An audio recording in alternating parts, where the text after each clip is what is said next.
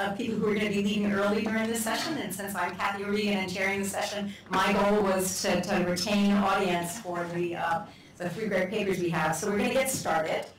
Um, the, uh, this session is titled Special Populations It's kind of a mixture. So uh, I'm not going to be able to do what Jeff Lavelle did in many of the sessions of having unifying themes and pulling them together. I'm not going to try to do this. These are three different papers on topics, but one of the things that they give us the ability to do is tie back to themes that we've been talking about for the last day and a half, right? Um, and so that's a way to think about them, and I think the discussion we'll have at the end will also give people the chance to do that, particularly if you were one of the burning questions on something that you didn't get to talk about that is touched on here, we can talk, do that at the end. Um, so I want to thank the sponsors, but I'm going to be brief um, to save time. And um, the first paper that is uh, we're going to discuss is tenure and location choice among Hispanic households. We have Rocio Sanchez Moyano, um, who will be presenting, and um, the discussant here is Matthew Hall, right there. And this piece, uh, this paper links back really to papers even on the first panel that considered the issue of how location matters to the internal rate of return on home ownership, but in this case really focusing on Hispanic homeowners who are studied but not nearly as deeply on thinking about the racial gaps with African American and white homeowners. And in this case, it's going to look at difference, how differences in locational preferences also may contribute to differences in the homeownership rates themselves. So that's a lens that it'll take. The second uh, paper is on whether mobile homes affect wealth. And uh, that's a joint paper with Esther Sullivan, who is sadly stuck in an airport somewhere, uh, and her co-author, Brian Levy. Um, Don Haurin is going to be the discussant for that one. Am I right? Yes. Um, that, this, uh, this paper considers affordable housing a type of affordable housing that we do not know enough about at all. It is a really understudied area, and it's a particularly important area in some regions of the country for providing affordable housing. And the summary from this paper itself makes it worth reading because there are all these little factoids for those of you who know nothing about manufactured housing that you can use when talking about them. And it's an interesting lens on the work because it's looking at how a type of housing whether rented or owned, um, affects the accumulation of wealth. And it's really about residing in the housing from, say, age 12 through 30 years old. Uh, and it's not directly about owning the manufactured home, although that may be the, the major channel through which you have find the negative uh, wealth effect.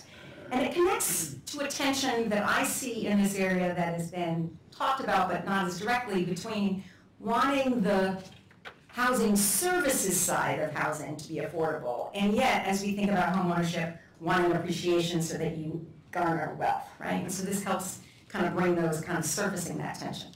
And the third paper is homeownership experiences following criminal justice contact. And Brielle Bryan is uh, going to be the is going to present that paper. She's the author of that paper, and Lauren.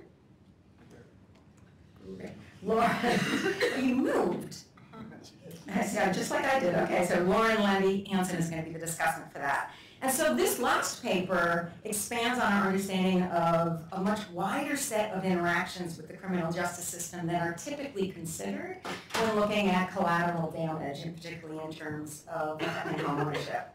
Looks at the likelihood and duration and um, even at the timing of its onset. So it connects to several panels and discussions about barriers to, accessing home ownership, but on a whole dimension that really has mainly not been looked at at all. So we could have had an entire another panel thinking about these barriers that are, are distinct. And so I'm going to hand it over now to Rocio and um, open up to Q&A at the end.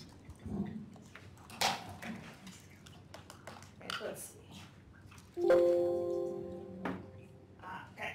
So, as I'm sure many of you in this room are familiar, the Hispanic white homeownership gap is large and it's persistent through both the boom and bust period and, and throughout the growth in affordable, uh, affordable credit in the 1990s. And so this homeownership gap then translates into a Hispanic white wealth gap. So homeownership is the primary form of wealth accumulation for the average American family, and the median Hispanic family has just 4% of the wealth of the median white family. So there is an existing literature on, on the homeownership gap, and it's really focused on one of three main uh, avenues to explain this difference. The first is financial endowments, and so this is just the fact that minority households, and Hispanics in particular, tend to have lower incomes, lower levels of education, less wealth. This then inhibits them from becoming homeowners.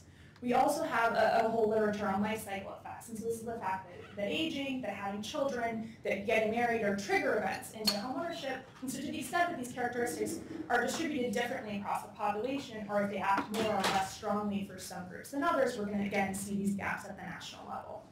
And then finally, when we're thinking about Hispanic households, it's really important to consider the immigrant experience. At the household level, Hispanics are 60% immigrants. Um, and so being a new resident to the United States might come with other residential uh, mobility because people might not know enough about the labor markets or the housing markets. You might not even know if you're going to stay in the United States. And so it's important to consider those, those characteristics as well. And so the, the main theoretical threads that I'm drawing on here are these two debates between spatial assimilation and place stratification. So spatial assimilation takes the concept that as minority households socioeconomically assimilate, you then turn this into purchase into spatial assimilation by purchasing near white families. Place stratification counters this and says, no, look, there's something about being a minority in the United States that is going to inhibit, it's going to create a barrier to access uh, for homeownership or for residential assimilate, uh, attainment broadly because of institutional barriers. So in, in most of these debates, though, geography is kind of an afterthought. Some papers do control for MSA location or for uh, a couple papers trying to find the effects of ethnic enclaves. But overall, it's not that sort of a leading explanation for what's going on. And actually, in both the spatial assimilation and place stratification literatures, there's an implicit assumption that homeownership is taking place in white middle-class suburbs. They say it's implicit because the only way you get assimilation through homeownership is by living near the white people, which is going to be in sort of suburban and middle income areas. But I'm arguing that we actually need to start thinking more about how geography contributes to the homeownership gap beyond just that top line number. The place that a home is located is going to affect its initial purchase price, uh, affecting affordability, and the long-term wealth building potential of the home. We also know that access to capital can be really constrained by a neighborhood, and in the lead up to the foreclosure crisis, we had predatory lending really concentrated in minority and, and low-income neighborhoods, which then translated into higher foreclosure risk in these neighborhoods. Then beyond the sort of financial costs and benefits to home ownership, we know that like access to schools and safety and neighborhood capital that are assumed to come with home ownership are actually going to be dependent on where that home is located. And finally, um, over the last 30 years, there's really been a shift in what the suburbs look like as well. We have um, suburbanization, poverty, movement minorities and immigrants into the suburbs, and so it's important to start teasing apart um, all of these effects. And so I specifically am looking at uh, the determinants of a joint tenure and location decision for Hispanic families. And, and specifically, I'm, I'm calling location sort of between city and suburb. Then I'm looking at how these differ from those of white households, and, and especially you know, what can we learn from intermarried households. And then finally, how do different Hispanic destinations affect these outcomes? Wrong way. So to do this, I'm using the, the most recent, at the time, uh, American Community Survey microdata. I'm using uh, Kneebone and Berube's 2013 definition to city versus suburb. And after data cleaning, I end up with 89 MSAs, where I'm really going to be able to look at sort of more distinct differences between cities. And the reason that I'm using the ACS, despite some of, some of its limitations in terms of wealth variables, et cetera, is to get really a sufficient sample size of Hispanics and of the geographic characteristics that I want to look at. Uh, next, because I'm doing this joint location tenure framework, I'm, I'm using a multinomial logit model with four possible outcomes. Urban owning, urban renting, suburban owning, and suburban renting. I'm, I'm observing this at the household level, and I'm really restricting my sample from 18 to 64 to cut off those life cycle effects that happen late in life. Finally, I'm modeling whites and Hispanics separately to allow the determinants to vary by ethnicity. So despite using this broad national definition of city versus suburb, you can see that cities and suburbs still look different from each other. Cities are more ethnic minority, they tend to, their populations tend to have lower levels of education, higher poverty rates. And then of course, important to this study, cities have a much lower share of owner-occupied stock. And so when we look in aggregate, Hispanics and whites exhibit different spatial patterns. So whites are disproportionately urban owners. 54% of my sample are, are, of whites in my sample are urban owners. Meanwhile, Hispanics are actually roughly evenly distributed between the urban renter, suburban renter, and suburban owner categories.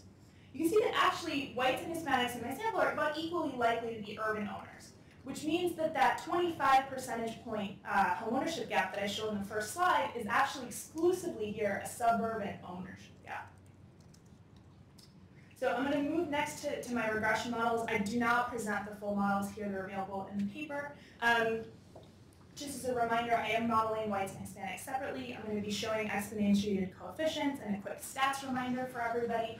Values greater than 1 means that my base outcome, urban renting, is less likely than the shown outcome. Values less than 1 means that urban renting is more likely. I do a full set of um, controlled and independent variables both at the individual level and then at the MSA level to capture some sort of morphology and housing market characteristics. So to start, the, consistent with the literature, life cycle effects predict owning for all families, but in particular they're predicting it more strongly and in particular in suburban contexts versus uh, white families.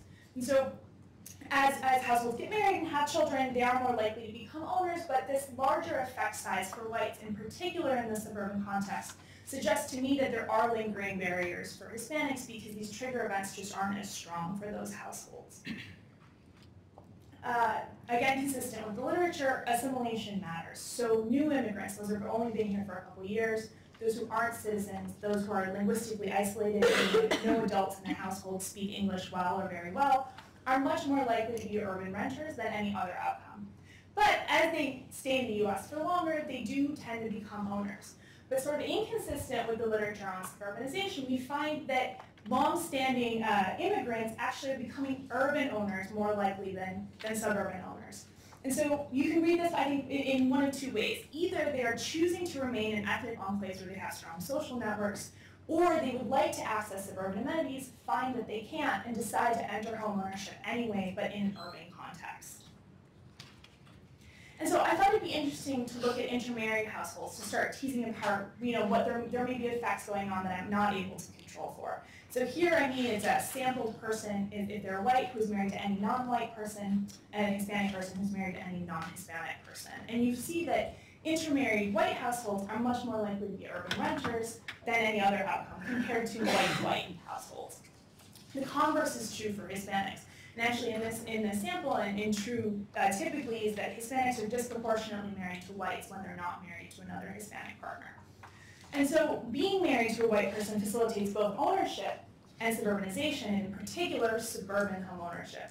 So I think there might be a couple uh, mechanisms through which this is happening. First is, is access to family capital. So whites are more likely to be wealthy, they're more likely to receive intergenerational transfers like down payment assistance. And so having a white partner just increases the probability that you marry into a family network that can help you out with that first home purchase. It could also affect access to institutional capital. So we know that there are racial differences and ethnic differences in lending, and so again, having a white co-borrower might make it a little easier to get the mortgage or to get more favorable mortgage terms. And, and finally, I think that the last effect is going to be through knowledge networks. So the home buying process, as we heard in the previous panel, can be complicated. Um, and so again, having access to family networks and friend networks who are already homeowners, which is going to be more likely to happen for, for white households, um, can facilitate that. And we also know that neighborhood decisions and na knowledge of neighborhoods is going to vary by race. Both that uh, intermarried households are more likely to live in ethnically diverse neighborhoods than, than intramarried households, but also that the specific neighborhoods of which a family considers moving to tend to be constrained by the race of that individual. And so again, having a white partner might broaden the set of neighborhoods that the Latino is looking at. Now I want to take a step beyond just the urban-suburban question and look at how racial, uh, regional settlement patterns might impact these outcomes. And here what I'm thinking about is that long-standing immigrant gateways both have more robust ethnic networks that, that Hispanics can be tapping into, both in terms of knowledge, but potentially institutions that are more likely to offer classes in Spanish or lending services in Spanish, but at the same time, these places may have a longer standing history of segregation, which means we might be seeing differences on that front. And so I divide my 89 MSAs into five different types of uh, Hispanic destinations. The baseline here are what I'm calling average Hispanic places. These are, these have low, uh, low Hispanic rates in nineteen ninety and sort of no interesting change in the Hispanic population around this time. New Hispanic destinations had a small share of Hispanic in nineteen ninety and very rapid growth in the population, but not necessarily large in percentage point terms. So they may still be seven percent Hispanic today, but that's a very large increase compared to nineteen ninety. The, the demographic shift now Hispanic bases are places that didn't have a very large Hispanic population in 1990, and today have a large percentage point change. And so these are places maybe went from being 5% Hispanic to 20% Hispanic during this 30-year period. Finally, the last two categories of the historic Hispanic bases, these had Hispanic populations that were larger than the, the national average in 1990. The historic bases saw no sort of substantial shifts in the population, sort of like average growth. And the demographic shift in these places with large percentage point change. And so they might be going from 20% Hispanic to 20, or excuse me, 40 or 45% Hispanic over this time period. And Hispanics are disproportionately concentrated in these last two categories. About 75% of my sample lives in the last two types of locations.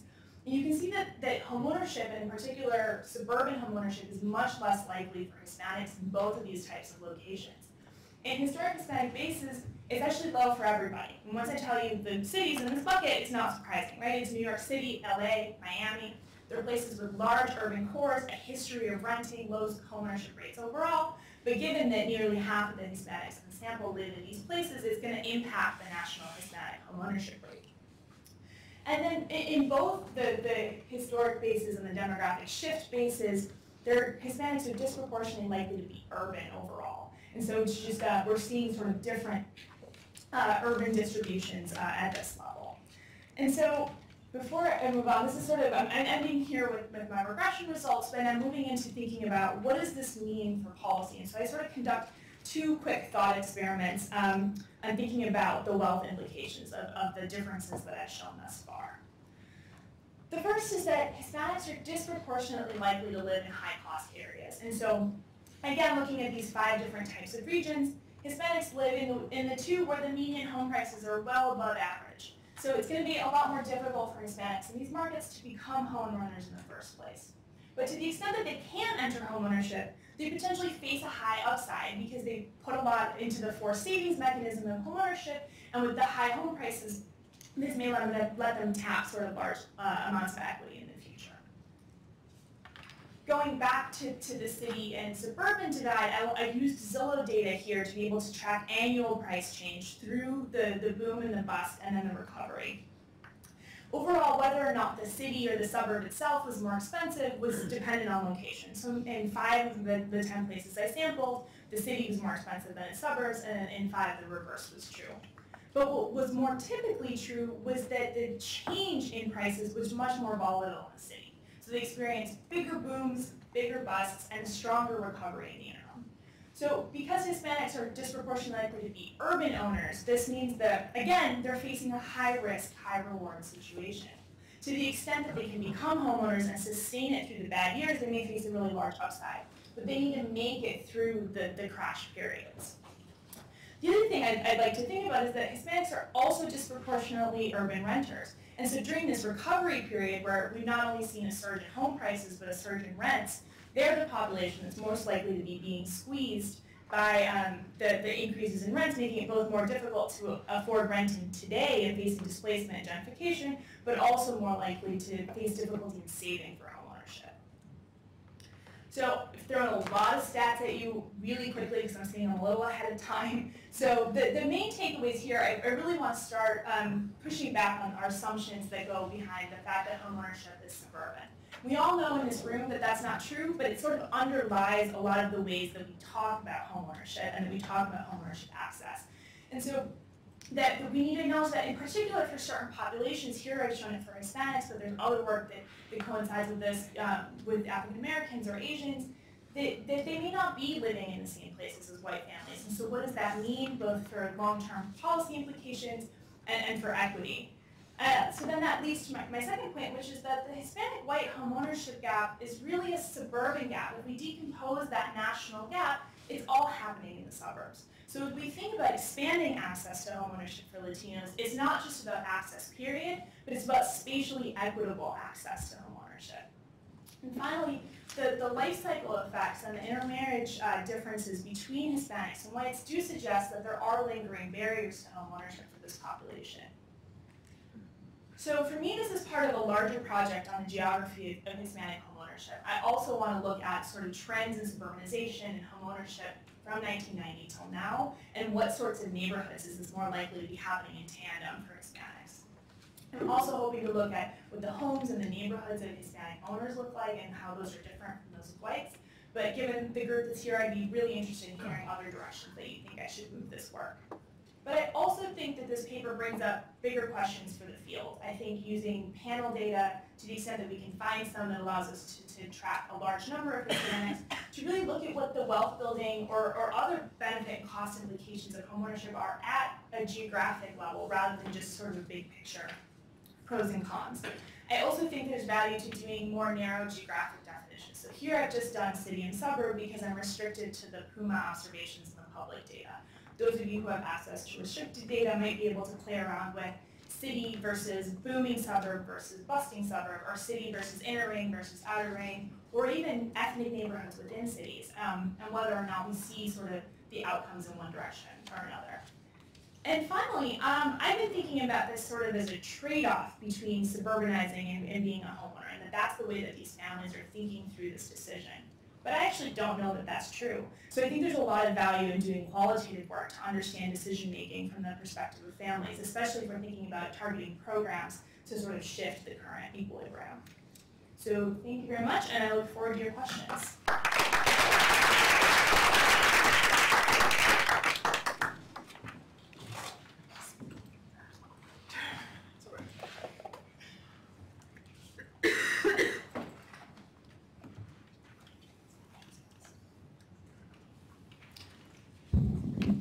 Great, well, thank you. Thanks for having me, and thanks to Rocio for um, sharing your paper with me. Um, I want to um, uh, start with giving a, a few different um, demographic facts. So I'm a demographer at, at Cornell. Um, we don't have sweaters or scarves on. We're old doctors. And so there's, there's three uh, demographic trends that really help describe the aspects of the Latino experience uh, today. And I want to really quickly highlight highlight these. So, so the first is, is uh, the one that we're familiar with all of these, but the first is the fact that the Latino population is growing at a very rapid clip. Um, it is now the largest minor, minor, minority group in the country. Um, and regardless of what happens with immigration policy, the Latino population is going to continue to grow. So this is actually the Census Bureau's kind of low immigration estimate of, um, or projection of of the Latino share of the population in 40 years, right? So exceeding a quarter of the, of the total population. If you look at births, you know, that are happening now, right? An enormous share of births um, are to uh, Latinos. If you look in places like California, the majority of births are to um, Hispanic um, uh, Hispanic uh, mothers. So the population is very rapidly diversifying uh, on this dimension. The other two related points are that the Latino population is increasingly geographically diffuse, and this is a point that Rocio made in her presentation, right, that there's been this shift away from the traditional destination states of California, New York, and Texas, and Florida, right, to other places, and you can see that here, that, that uh, orange share is kind of this, the, the share of the Latino population that lives outside of the, what we consider kind of the big five states. And that shift from 26 to 35% might not seem like an enormous shift, but in terms of demographic change, that is, that does represent a big shift because it, ha it has to represent some fundamental reorientation or fundamental shift in migration behaviors, right? And so that's either the kind of the, the settlement behaviors of new, new immigrants or what's what's actually happening is a, is a redistrib redistributive property um, or characteristic of existing uh, Latino um, folks. And then even when you look within states, within, within cities in particular, you can see that this diffusion process is actually playing out, right? So, you know, it is true that um, Latinos are still largely urbanized and still concentrated in central cities, but I mean, this shift here, this is so that this is maybe not the best graph, but the, the red circle there is the proportion of the, of the metropolitan Hispanic population living in the suburbs, right? So in 1980, you know, about a quarter of Latinos were in the suburbs. Today, it's close to half right? So there's been this geographic dispersion that's happening on these, on multiple spatial scales simultaneously. And then throughout all of this, of course, you have accelerating homeowner, homeownership among, the, among Latinos. They're purchasing homes right on the heels of the recession, and then there's a contraction that takes place. And this is obviously tied in to your framing in, term, in terms of wealth, wealth accumulation. Um, so, you know, these demographic trends are really important for this crowd because they all affect housing behaviors um, because, because of all this mobility and growth and, um, and, and, family change um, happening all simultaneously. So, so the key question in, this paper is, is, actually quite simple, and it's right there in the, the first or second paragraph of the paper, and it's just where are Latinos or where are Hispanics buying homes, right? And, and, and then, you know, there's all these kind of ancillary questions, but this really is the core question. Um, and this is, a, this is a really important important question, and it's one that we actually know relatively little about. Right? You, know, you, you, you, would think that we would know a lot about these kind of demographic or these descriptive orientations around the geographic, um, the, the, geographic distribution of Latino homeownership, but we don't. And, and, part of this is part of this is because of data limitations um, that I'll come back to in a minute. Um, but part of it is we're just trying to catch up with, with, the, with the, diversif the diversification of this population and the fact that a lot of the models that we draw from including the assimilation and stratification perspectives, are based on an old um, demographic uh, profile that was largely black and white. And we're still kind of developing some of our conceptual and theoretical arguments throughout that same lens. Um, it's also, you know, the, the, the, paper and the question is important because, you know, the answer to this question is about the, the geographic distribution of Latino homeownership helps us to understand the assimilation process. And as someone that spends most of my time thinking about immigration and assimilation, um, this is an important dimension through which people can can make um, can make intergenerational progress and, and through, through which mobility um, exert, exerts itself. It also, of course, helps us understand some of the constraints on locational attainment, right, and on, on ownership. That is the mechanisms, right, through which those um, through which which ownership might, might be stalled. And then it provides this kind of broader lens on, on the prospects for racial integration. Okay, so let me get into the paper. So, you know, my first overall point is is that there's there's really a lot here, and I think there's actually I think my my you know, my key suggestion is just to really simplify the focus, right? The, the, the core question about this geographic distribution of Latino homeownership is totally sufficient, right? And there's a lot to, to unpack there. Um, and I think in doing so, you can you can spend time more just on that, that it helps to to kind of strengthen all aspects of the paper, right? You can have a better, stronger motivation that's better linked to some of the conceptual arguments and then better um, integrated with the analysis. And you have, you know, there's these kind of three other dimensions about intermarriage, about Latino destinations, and about um, price volatility. You know, those are probably separate papers. I think, you know, the, the, the, the core question here about just that geographic uh, representation is an, is an important one. So as a demographer, I would, you know, argue you should embrace the descriptive orientation, right? I think there's, you know, there's, you're, you're not going to be able to develop some, some causally identified estimate of um, how people make locational decisions. And so I think that just providing that descriptive demographic kind of breakdown of, of the distribution of, of Latino um, owners across multiple spatial scales. And of course, you're limited here by the, the data, right? You have PUMAs and not, and, and, and that's where your, um, your constraint is. But I think you can take better advantage of some of the, the geographical features of those, um, those points. Um, you know, the, the other point that I'll, I have comments that I'll, I'll send you that will outline these in more detail, but um, you know, I kept thinking, you know, what, what is the behavioral model, right? What, what are the conceptual arguments that are being tested here? And you know, you have, there's these kind of this assimilation and stratification perspective, but what sort of evidence do I need to see in order to support those different models? Okay, so I think just kind of clarifying that would be helpful. Um, the other part is that, you know, there's, there, there are a few temporal dimensions that, that really could be explored further. So one of these is the, is the generational process, right? That, and, and again, they're limited by census data. We don't have immigrant generation, but there's ways that you can kind of uh, manipulate the data in, in, in, some ways you can get, get some sense on it. So you can at least distinguish between what we think of first generation, 1.5 generation, those that arrived as children, and, and, the, and the second plus generation and then look at the kind of the, the ownership and locational uh, outcomes of, the, of, those groups. The other question is, you know, what you're really interested in is is in that decision process about where people are making decisions about where to live. And I think in order to do that really well, you probably want to be looking at just new buyers. Um, And the census data doesn't, you can't really do it there, but you can use the migration question in order to at least look at, um, it won't be first-time buyers, but it'll at least be new buyers. And I think that'll give you a little bit more purchase on, on, on answering your question. And that's partly connected to my other point that you have to be a little careful with, with the way that the, um, all your covariates, your controls are discussed, because a lot of them aren't gonna be temporally aligned, right? By looking at all homeowners, right, the marital status, including intermarriage, right, may have come well after somebody moved into the suburbs or purchased a home. And so that really kind of changes the nature of the, of the um, theoretical arguments you're making about those questions. Um, and then, you know, more generally, you know, you, I think there's, there's a lot of heterogeneity in the Latino population that is what makes the ACS data so great to, to be able to explore, right? So, you know, not only generation, but citizenship, ethnicity, age, education, family status. I mean, legal status is another component of this that really can't be ignored, maybe not be able to be modeled, but you really also need to, to think about that as well. And Then the last thing I want to say quickly is, I think there needs, there, there, this, um, in thinking about this joint decision between sub- suburbanization or location and tenure, I think you might want to give some greater thought to spatial dependencies. And I don't mean spatial dependencies in the statistical sense, I mean it more in the conceptual sense, right? That there's this kind of inertia to where people live, where they were raised. And, um, and, I'm, I'm not sure that people really are truly making joint decisions.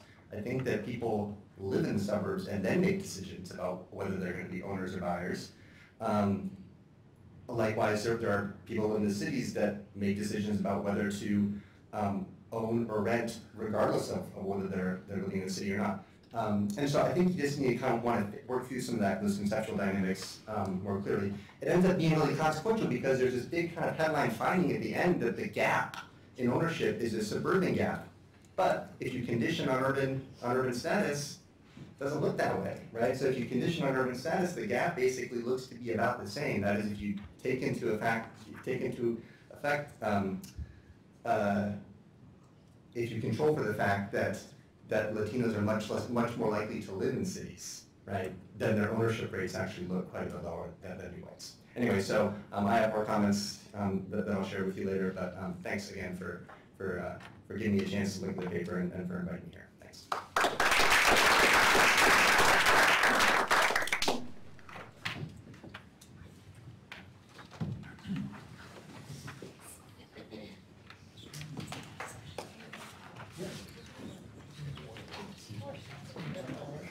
Uh, it's legal. So laser pointer as well. Instead of, uh, workshop, uh, shop building.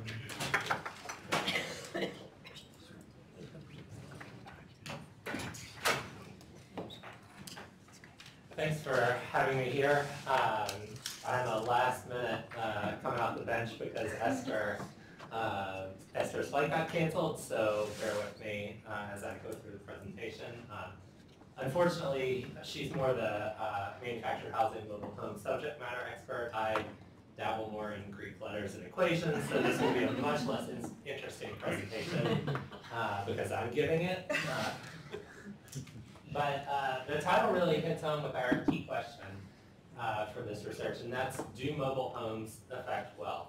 Uh, and we're going to ask this question looking at a cohort of individuals from the NLSY 97 uh, that really came of age during the mobile home boom in the United States. Uh, so here's an example of manufactured housing.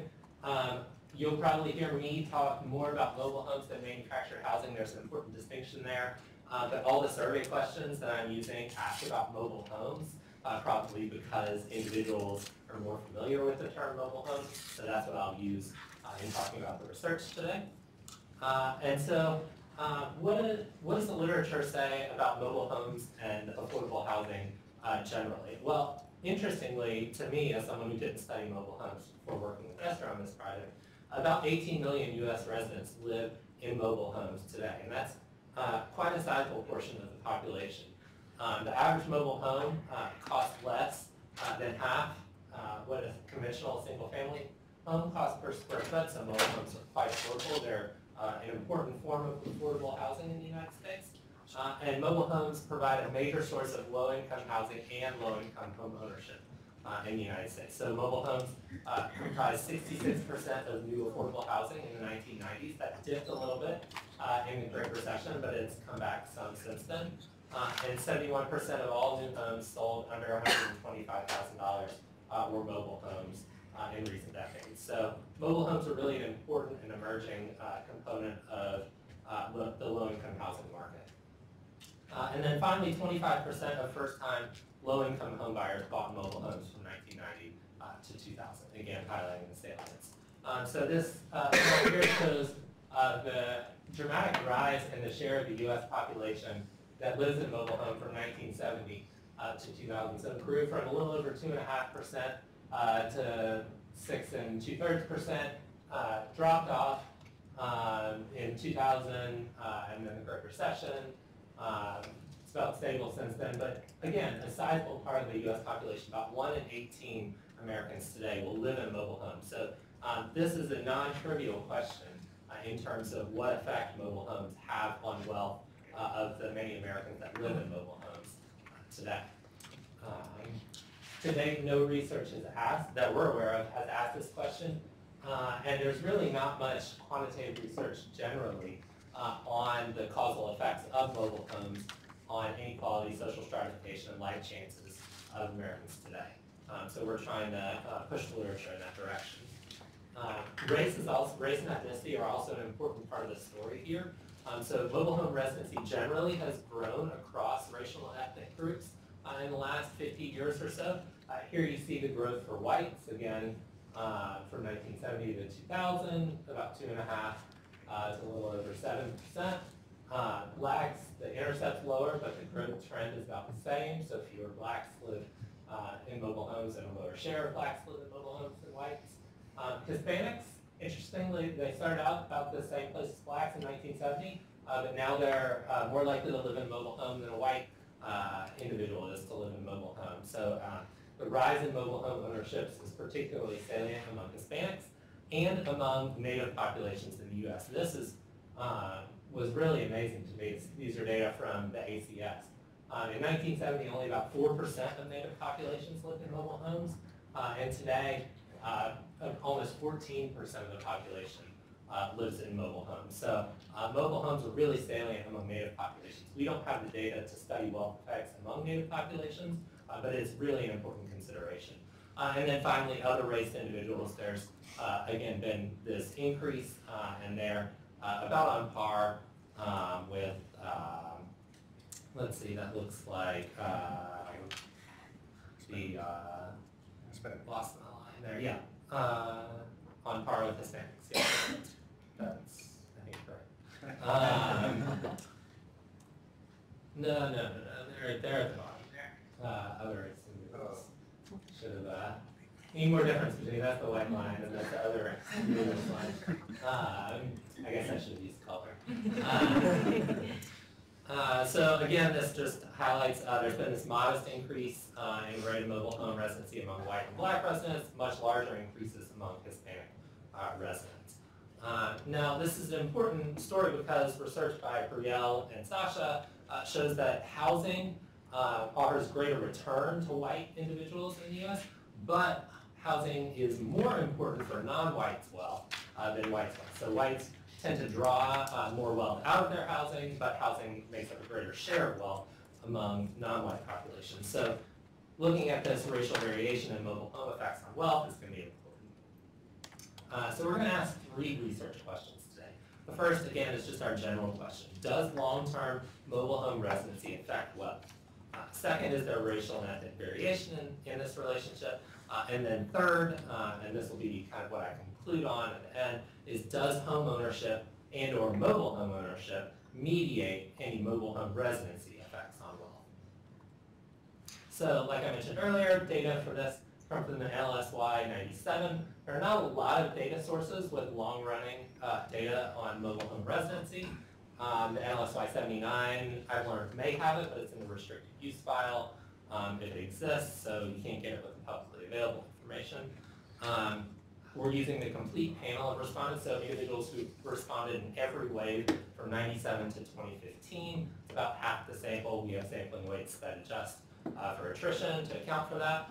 Um, and that's 4,809 individuals that comprise our sample.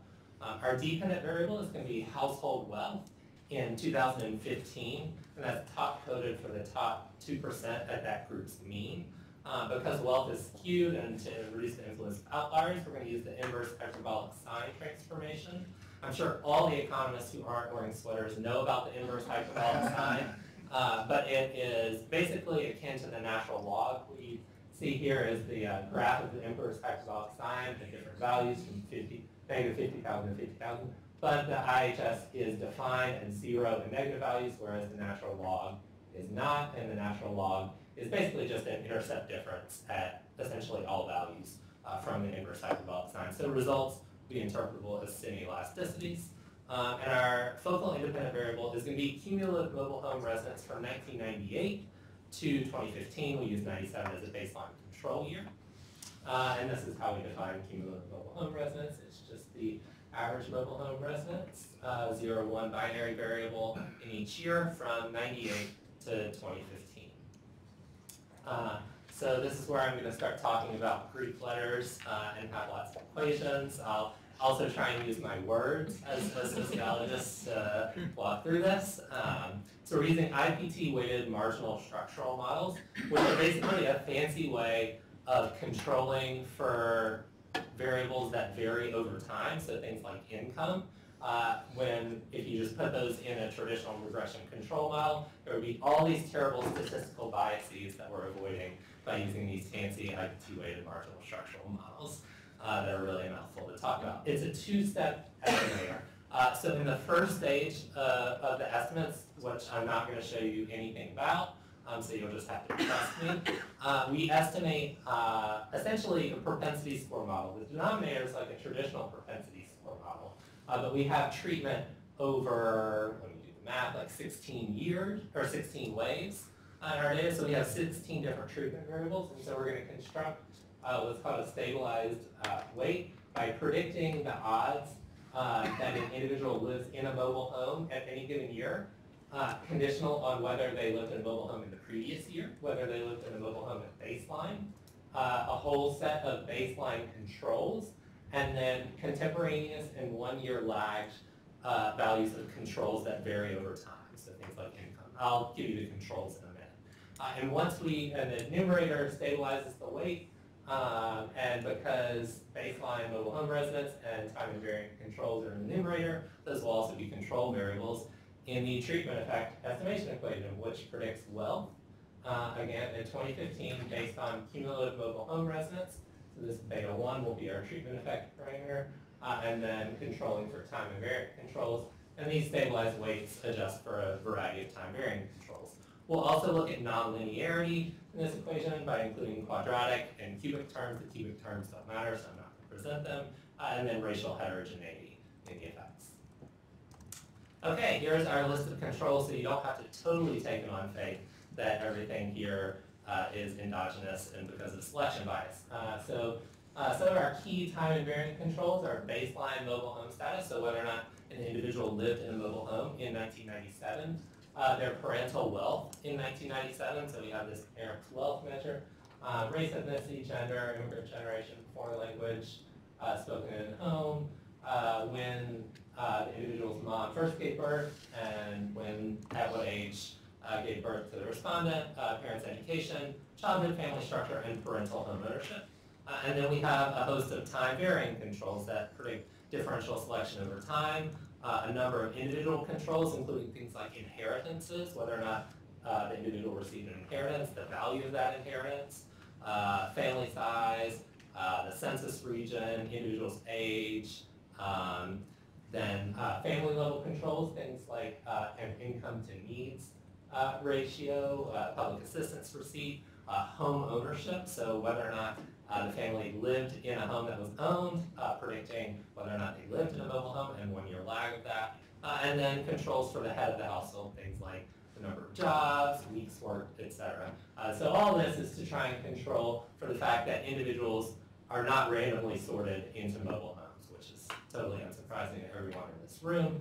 Um, and our causal estimates are conditional on adjusting for selection into mobile home, and that we've adequately, adequately done it with this selection model. So to the extent that there's unobserved selection, uh, we don't have a causal estimate at all.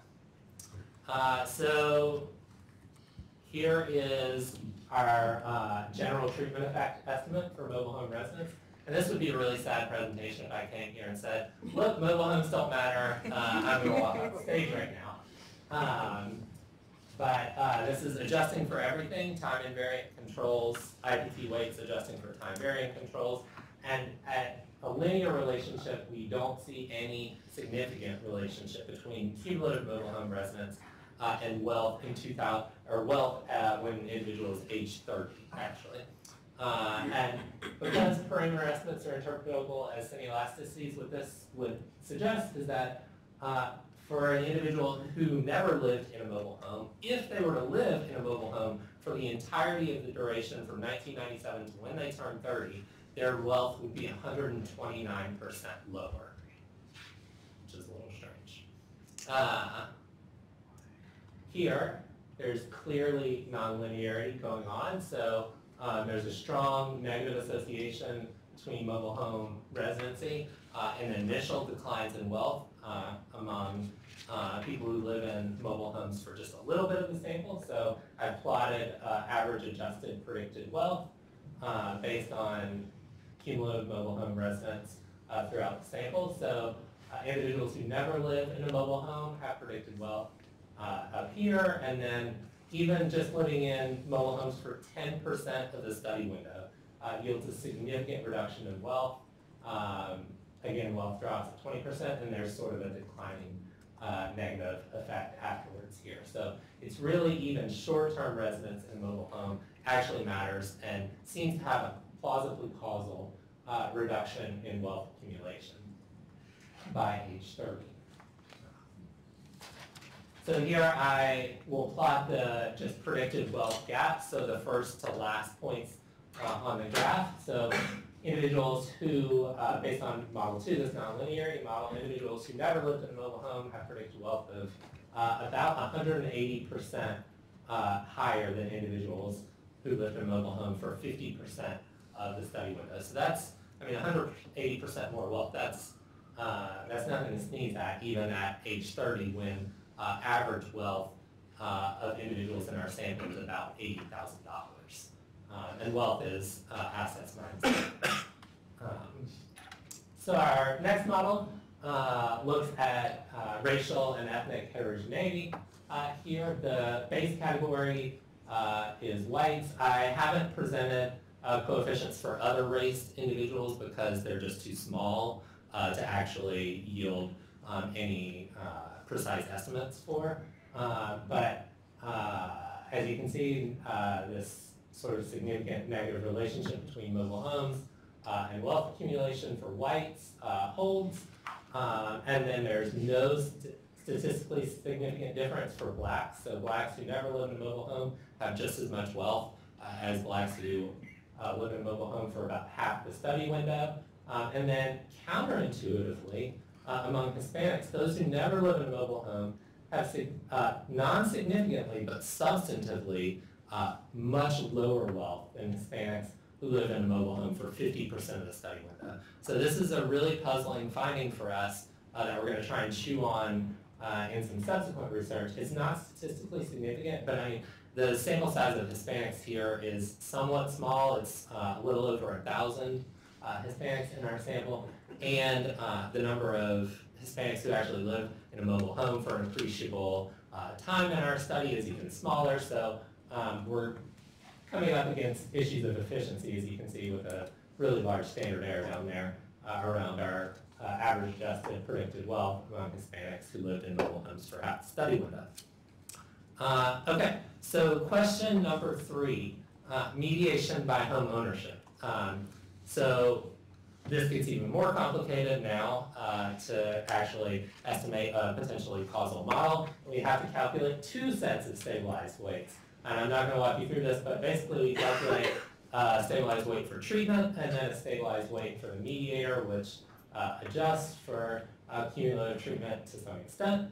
Um, and then our treatment effect estimate uh, is going to be the original equation uh, plus our mediator uh, in here, which is either um, in one model is going to be general home ownership uh, from age 25 to 30, uh, and then in another model is going to be actual mobile home ownership from age 25 uh, to 30. Uh, so this is just to show you that I have regression estimates, and we actually ran the models. We didn't make up the numbers. Uh, I don't know, you hear about social scientists doing that these days. Uh, and so instead, I'm just going to give you the predicted wealth uh, for individuals adjusting uh, for different uh, mediators. So here in model four, we're going to look at mobile home residence gap uh, for individuals who never owned mobile homes, and there's a significant wealth gap there. So among individuals who never owned mobile homes, if they never lived in a mobile home, they have about 235% more wealth than if they lived in a mobile home for half the study window. So this would be uh, long-term mobile home renters, basically, or those who at least don't own a mobile home uh, toward the end of the study window. Uh, in contrast, individuals who lived in a mobile home for 50% of the study window, but at least owned a mobile home for half the time at the end of the study, uh, had statistically indistinguishable wealth uh, from those who never lived in a mobile home.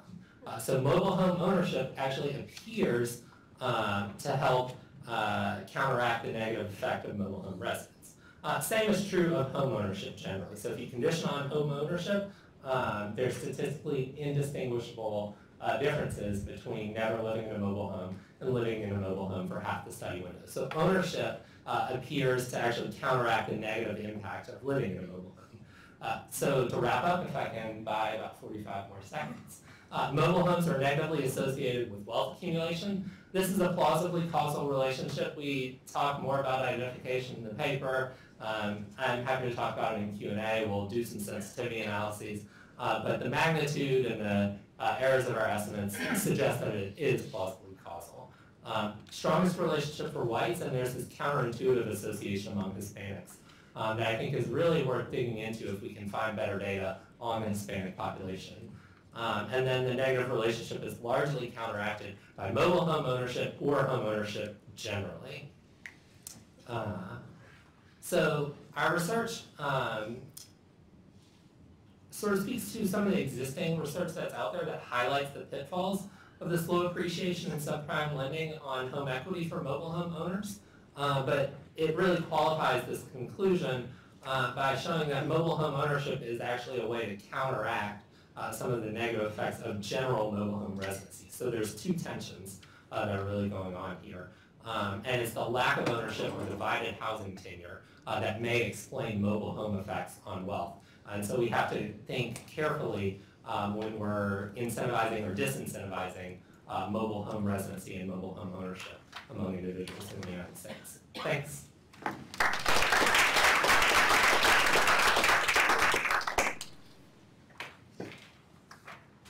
So, uh, here's my notes. Says, Congratulate the conference organizers on picking some of the topics that are not super common. Mobile homes, like, is one, uh, land contracts. I want to congratulate the authors on also picking mobile homes as a topic.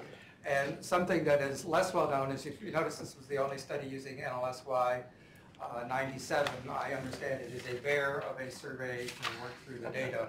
Uh, It happens to be housed at Ohio State, so that. Um, The, uh, one other, one other comment is, people all have images of what mobile homes are. It reminds me of Gary's comment about land contracts. So you can think about mobile homes and mobile home parks, but also think about rural Ohio, where there's a lot of rural areas that have a lot of mobile homes. Manufactured housing is, is the structure. Um, Okay, so that's that. Uh, There's actually three papers here, all embedded in one. So Alexander is our timekeeper. Can I have 30 minutes? You gotta ask Katherine. Okay. So I'm only going to talk about two of three to the extent that I have time available. I'm going to deconstruct your paper and mostly not talk about the one that you talked about here. Um, So, first one, if you noticed, he was saying from the start of the survey to age 30. There's two spells there. There is while you are a child, adolescent, living with your parents, and then there's the post-parental independence, however that's defined, period, where you're either a renter or an owner or living in a group, something like that. Those are two different research questions as to what happens when you live in a mobile home. On, on that, you know, it could be, the first question is really a large, multidisciplinary question about experiences as a child and as a youth on a variety of young adult outcomes. And there's a whole long list of young adult outcomes. I got a few up there, educational attainment, employment, wage rates, criminal activity, being on welfare. They've studied everything, and it is a very large literature. Psychologists, sociologists, economists have all been in there.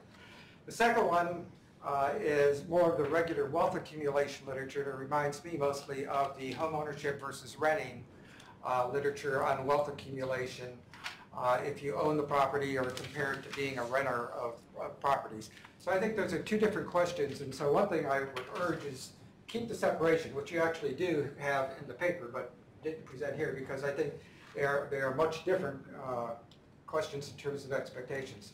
So on the first research question, so this is the child outcomes, you need to think about what a residence is. Okay, so there's this whole bunch of stuff that parents can be doing that affect their child outcomes. Let's set all that aside and just focus on the residence. What is a residence? Well, it's living area, you know, the size of the residence itself. Often in the literature that's been converted into a density, residential density measure like persons per bedroom and so on. Uh, lot size, play area that they have, the quality of the dwelling and the quality of the home environment. Location, which is amenities and disamenities, school quality, peer groups and so on. That's all associated with your residence. Do you own or rent? There's a literature on owning and renting and affecting child outcomes. And then finally, we get down to the structure itself. So is it a single family dwelling, multifamily, a mobile home? So the, the sort of the, the pure aspect of, of, of mobile homes, I think would just be as a structure. Now it is clearly associated with a lot of other things. And the problem with this literature, the child outcome literature, you know, looking at the child outcomes or young adults, is that it's plagued by omitted variables. You need to have a data set that has these outcomes, the whole life experiences of children, what's happening to them then, what happens to them as a young adult, everything you want to know about their parents, uh, put that together with needing to know everything about the residents. Those, you know, there aren't data sets that do that. You know, data sets, so some things are being omitted, and usually that picks up, you know, some of the included variables are going to pick up some of these omitted characteristics. Um, there is a debate, and this it mostly comes out of the own versus rent literature on child outcomes, uh, which is, so home ownership is also credited with uh, a lack of mobility and residential uh, mobility affects child outcomes. So should home ownership be credited with this lack of a mobility effect? And I'd say my answer to that is it depends upon causality. If it's just an association, eh, it doesn't get credited for it. But if homeownership, because of the high transaction cost, actually causes a lack of mobility, lack of mobility causes better child and young adult outcomes, and you could actually attribute it to it. In the paper itself, you talk about mobility and uh, living in a mobile home, uh, so that's why that's relevant. Uh, research question two, as I mentioned, I think this is related to the homeownership versus renting question in terms of wealth accumulation. Um, what, what's the answer to that? You know, there's a debate about it. Well, we've already seen some things in, in here. It depends upon the time period, depends where you're living. Columbus is not the greatest place in the world to, to, to have house price appreciation compared to many other places. Um, I am convinced by the literature that looks at house price appreciation that it is land value appreciation, not structural appreciation. If that's true, you can then think about mobile homes. Uh, a lot of mobile homes, they own the structure but don't own the land. Uh, in some cases, you do own the land, but the amount of land you own, if this is in a mobile home park, is very small, so you're not going to have much appreciation from that. I think the one exception that I remember vaguely from the Wall Street Journal maybe 15 years ago was there was a mobile home park in, I don't know, Malibu, something like that, overlooking the ocean, and they could, they sold the park eventually uh, for very high amounts. Uh, data set. So NLSY 97 has some advantages. A disadvantage is you start at ages 12 up to 17, so you actually miss the early childhood experiences. Um, As it goes on, you're going to have more outcomes. One of my questions is, wealth at age 30? Um, That, you know, what about lawyers? Uh, So they're just finishing law school, they're going to have a lot of wealth accumulation, but it's probably not going to be by age 30, especially if they've got student debt. So it seems a little bit premature to use it. There is an alternative, which is the LSY 79, but we would treat those people as parents, so then you would know something about the parents from 79 to now. And luckily, they picked up another survey of the children, and they followed all of the children of female respondents through their childhood and into young adulthood. So you can look at the young adult outcomes for them. They actually have wealth, but again, they're pretty young, young adults, so I'm not sure that I would do that. The deal is you need mobile home data there, which the 97 does have. Uh, What do you expect empirically? I'm not quite so sure on the first research question whether mobile home as a structure would by itself have an effect on child outcomes.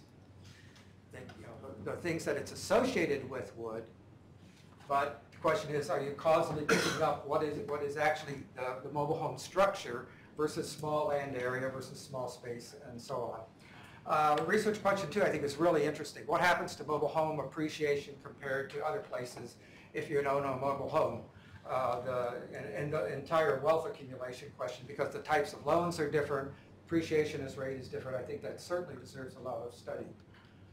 Um, okay, I'm going to skip this one because we had a good explanation of what the results were. Um, so I mentioned the first point here, which is about wealth at age 30.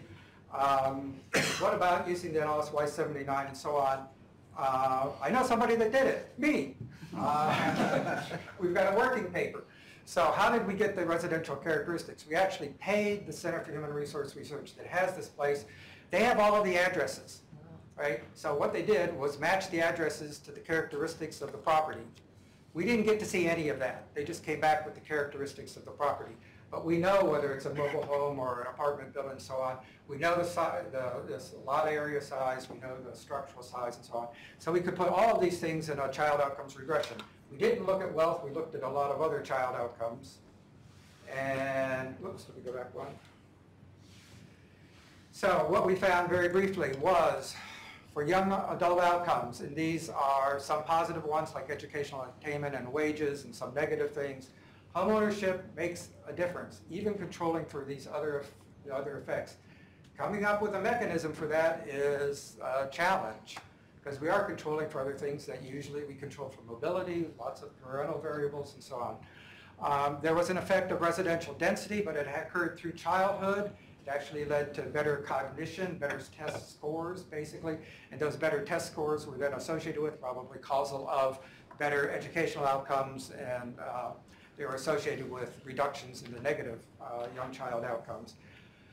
The mobile home care uh, coefficients, they were not small, they were pretty big, but there was no statistical significance of any of them. And so you're sort of left with the dilemma, is this because of small sample size or what exactly was causing the lack of significance? But it was sort of the intuitive types of results that you would expect from a mobile home, uh, residing in a mobile home as a young adult. Remember, I'm talking about the first question. And I'm going to conclude with a question about, uh, questions about causality. Um, think you, we need to clarify in the paper a little bit more about sample selection. It probably changes over time. I wasn't sure if your method adjusted for the changes over time in sample selection. Perhaps it does, but I, I was less familiar with your specific methodology. I'm going to give two quotes right from the paper. First one, we do not, however, claim that our parameter estimates are the true causal effects of mobile home residents of wealth on wealth. I agree. Uh, but then I would urge you to be careful in things like we conclude that mobile homes are an increasingly salient contributor to inequality in America. That requires causality to be able to make that policy statement. And so I would be careful about the policy prescriptions that, that you're making.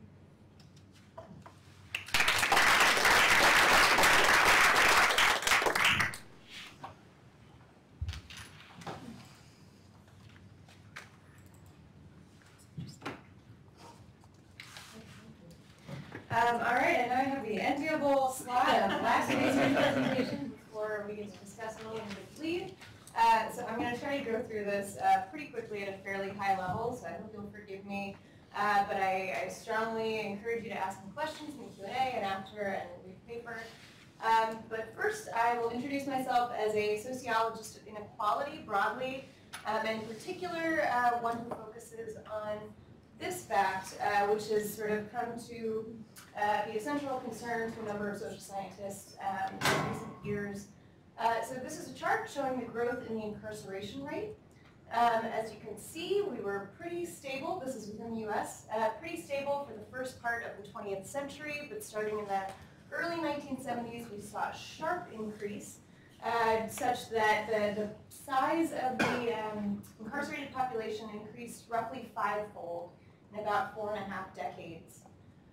Um, as a result of the fact that the vast majority of people who are incarcerated are eventually released, uh, this growth in the incarceration rate has meant that we've also seen a really substantial growth in the size of the formerly incarcerated population. Uh, so it's a little hard to read here, uh, but the dark bar, sort of dark portion of the bar at the bottom, shows the um, size of the prison population over these years, and the light gray bar shows an estimate of the size of the formerly imprisoned population. And so while we used to have a sort of stable uh, population of about 1 million people who had formerly been incarcerated in the US, uh, we're now up to about 5 million people in the US population who have formerly been imprisoned. Um, now, if people served their time and then sort of went back to the community without too many hurdles, this would be an interesting demographic fact, but perhaps not something worthy of um, tons of research attention. Uh, but we know from both uh, legal scholars as well as social scientists that uh, folks who've formerly been incarcerated face a number of legal consequences that sort of stick with them once they come back. So this includes things like voting restrictions, occupational licensure restrictions, um, and a number of other things that I don't have time to get into now.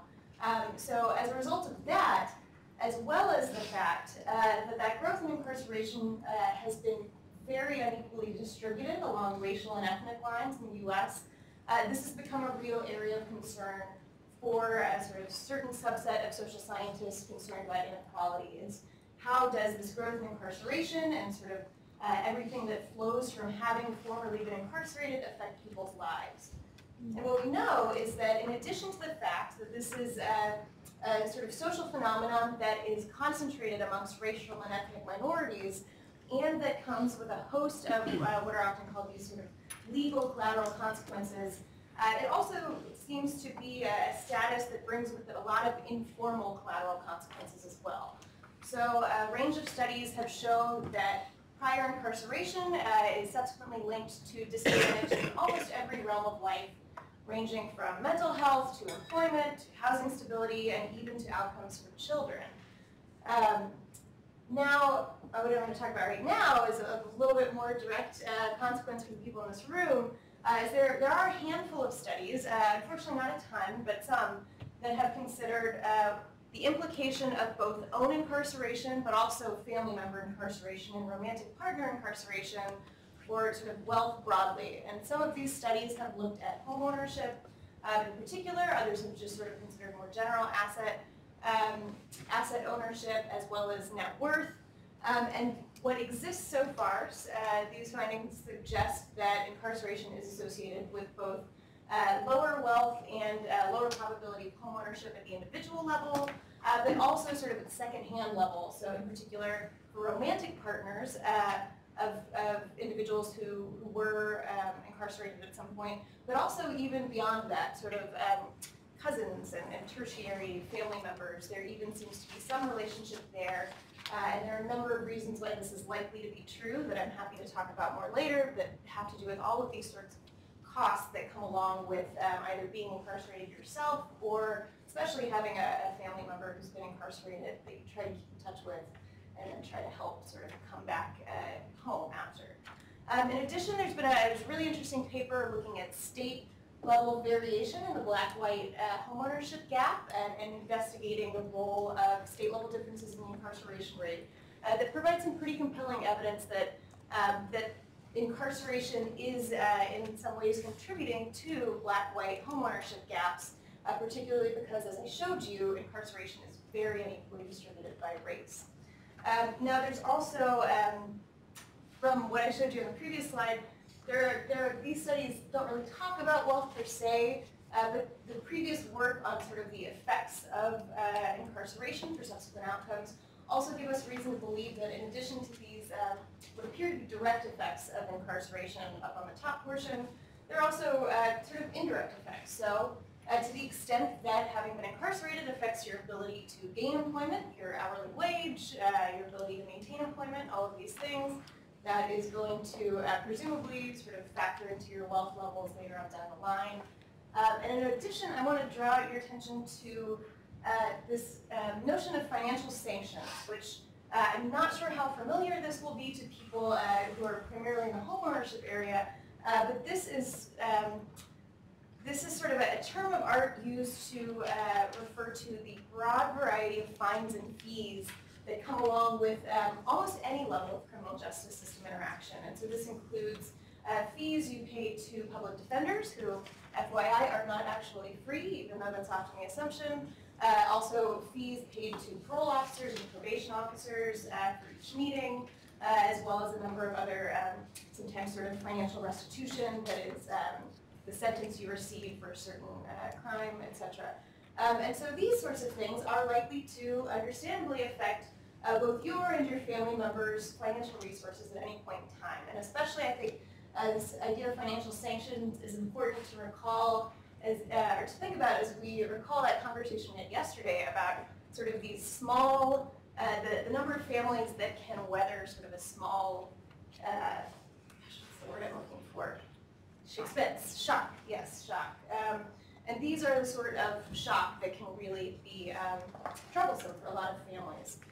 Um, but uh, another reason I want to draw your attention to these uh, indirect effects is because uh, these are things that are likely to pertain not just to individuals who have been incarcerated, uh, but to the broad variety of uh, folks who come into contact with the criminal justice system, but who, um, primarily for data reasons, uh, have largely been sort of understudied in this literature so far. Um, so what I showed you before is really just this top portion of the population or the rate uh, of incarceration in prisons and jails. Uh, and the like daily estimates are that basically 2.2 million people are incarcerated in the U.S. on any given day, uh, but another 4.5 million people are under some form of what's called community supervision on any given day. Uh, so this is probation, uh, which is served after, or sorry, probation, which is served in lieu of a custodial sentence, or parole, which is uh, community supervision after custodial sentence. Um, and in addition to this, I don't have a like a fancy way to show it to you, thanks.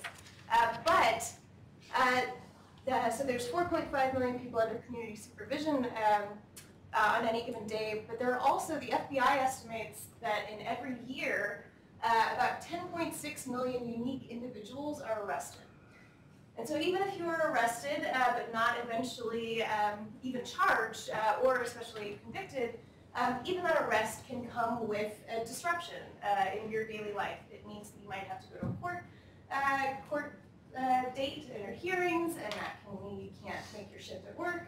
Um, in addition, you're, you're going to face these financial sanctions that I was talking about before. Um, now, there's been very little research to date on what these lower level interactions with the justice system actually mean uh, for people.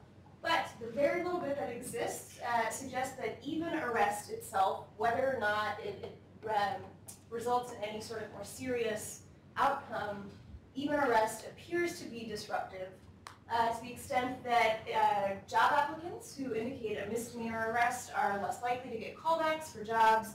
Um, in addition, some work suggests that uh, arrest itself without anything else um, can be disruptive for high school completion uh, and, and also promotes uh, mental health problems. Um, and then finally, in, in, work that I've been doing of late, um, I find that felony conviction without incarceration, which is actually a pretty big category that people don't realize, a lot of people end up with felony convictions but don't actually serve any time, um, that status appears to be disruptive for housing stability as well. So what I am looking at today, uh, to sort of go along with our theme, uh, is how these varying forms of criminal justice contact at all levels uh, appear to relate to homeownership experiences. So as I showed you before, we know a little bit about what incarceration seems to mean for homeownership, uh, but I want to sort of walk through these other lower level uh, experiences and see if there's a relationship there. So I too am using the National Longitudinal Survey of Youth 1997 data.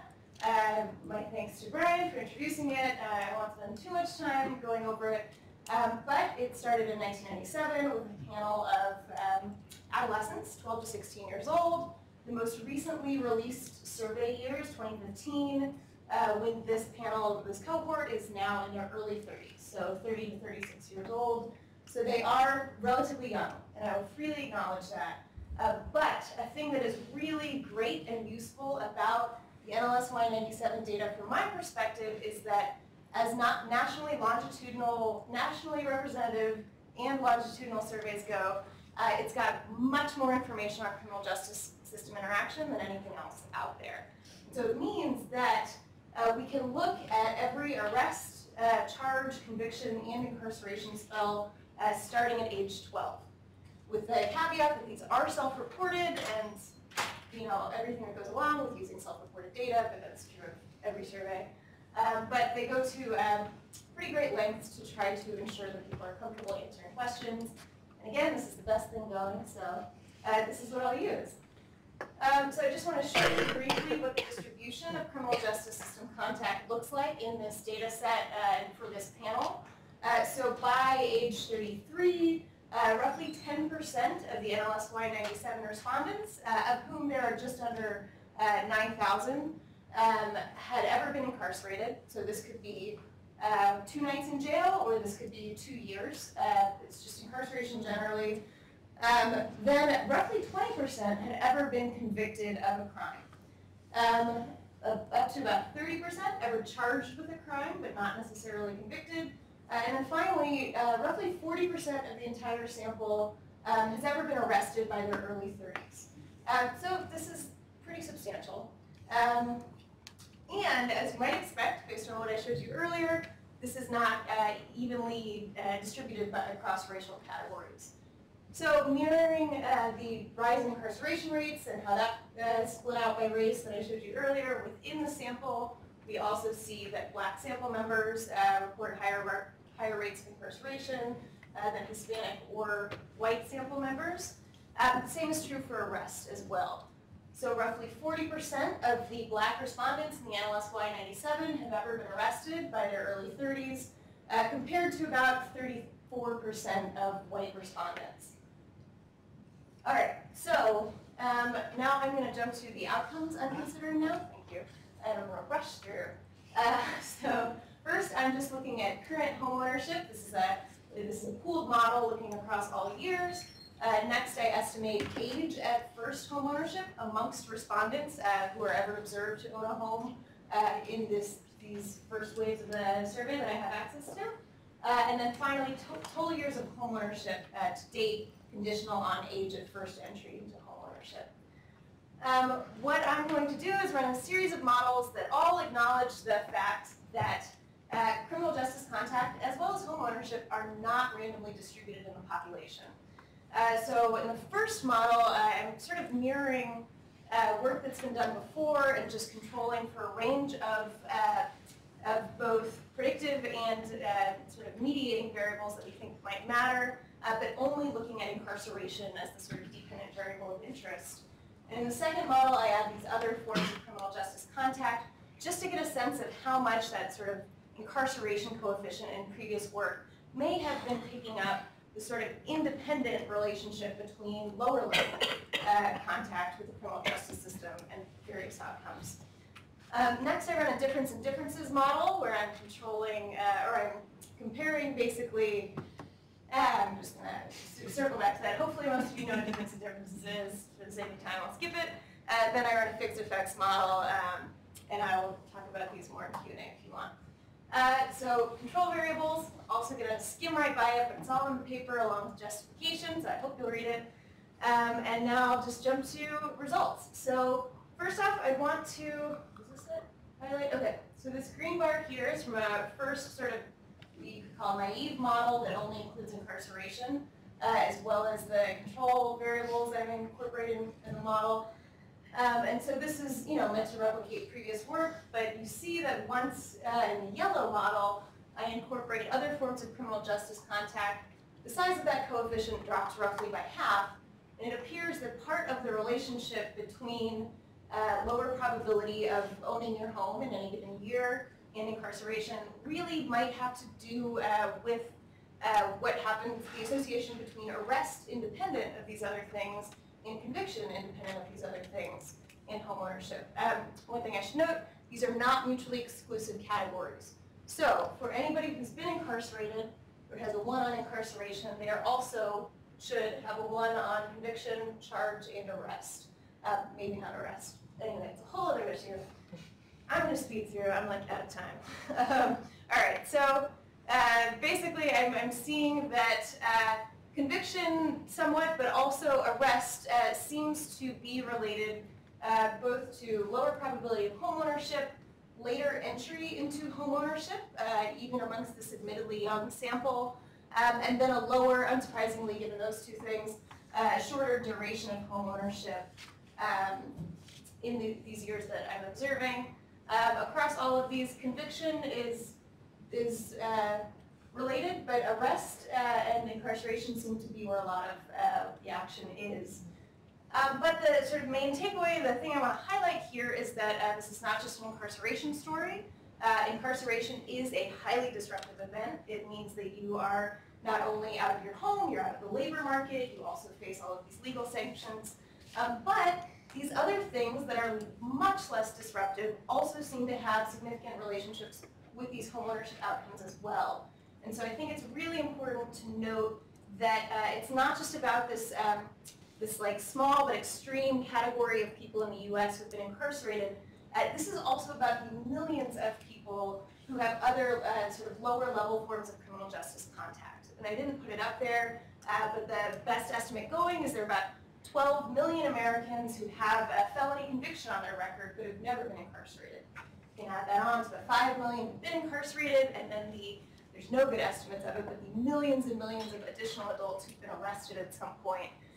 And this is likely to sort of add up to a lot of, uh, it's a lot of people affected in some way, and presumably it is factoring into a lot of the black-white disparities that we see.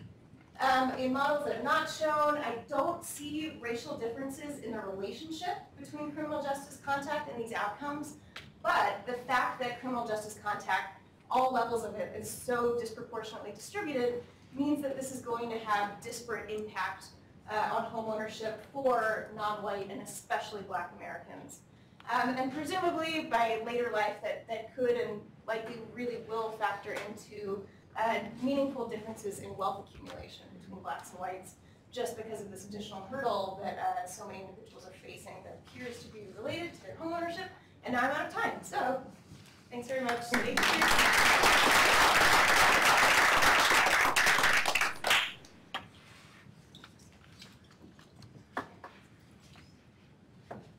So while you're pulling this up, I'll just go ahead and say hi. I'm Lauren Lambie-Hanson of the Philadelphia Fed, so of course I have the standard Fed disclaimer. And another, more important perhaps disclaimer is that I have never worked with this data. The initial um, chosen discussant, I, I, think, has much more experience, so I apologize to Brielle and to all of you for that.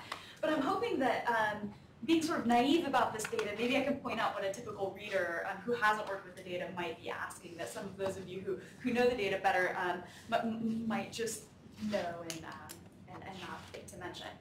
All right, so what does this paper do? Brielle did an awesome job motivating it and telling you about it. But um, really the objective here is to determine the relative impacts of arrest, criminal charges, conviction, and incarceration on homeownership experiences. So the two critical research questions here are, does criminal justice contact affect the age at which consumers become homeowners? And does it affect the sustainability or the length of that homeownership? She motivated it well, so I'm not going to tell you more about that or the data, which she did a great job about as well. Okay. So what does this paper contribute? I think it really complements the existing literature that shows that those who are incarcerated have worse homeownership outcomes. And, um, and, but she, she makes a nice, some nice new contributions. She's using consumer level microdata. She's, um, she's she has a, um, a I think arguably sort of a more interesting time period that she's studying than prior work because her time period uh, tran- transcends the housing boom, bust, and recovery, which she's not currently doing a whole lot with, and maybe not for this paper, but for the future, especially as this cohort ages, there may be some interesting applications there. She also segments the criminal justice system contact into finer, more exhaustive bins, right? So rather than looking just at the ever incarcerated sort of dummy that others are including in it and attributing all of the negative, um, uh, all the negative impacts of the criminal justice um, contact with that incarceration, she's looking at these other things, which lets her also get at people who experience the earlier and less severe forms of contact, which is cool. All right. Uh, she, she, you know, told you uh, a lot. I don't really need to explain this chart now. Thank you. um, but, but basically, the idea is that a lot of people have had have had contact with the justice system, and if we don't have jobs and housing, the risks of recidivism may be higher, right? So we have a, a lot of reason to care about this research. And it's going to be harder to get a job or at least rental housing if you have a criminal record. And eventually that's going to have spillover effects on your ability to become a homeowner or to sustain that homeownership. Uh, she didn't touch on this, uh, I don't think she had enough time, but really this is, this is incredibly policy relevant right now. So we, I, I was very excited to learn um, that Pennsylvania, my state, uh, has, is sort of forging the way in this.